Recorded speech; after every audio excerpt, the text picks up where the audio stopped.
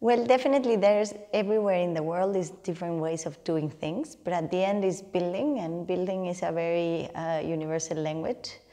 And I think what we can um, we, we can export is those ideas and strategies behind, not so much the way it's built or the ways uh, um, even uh, used. It's the strategies, I think.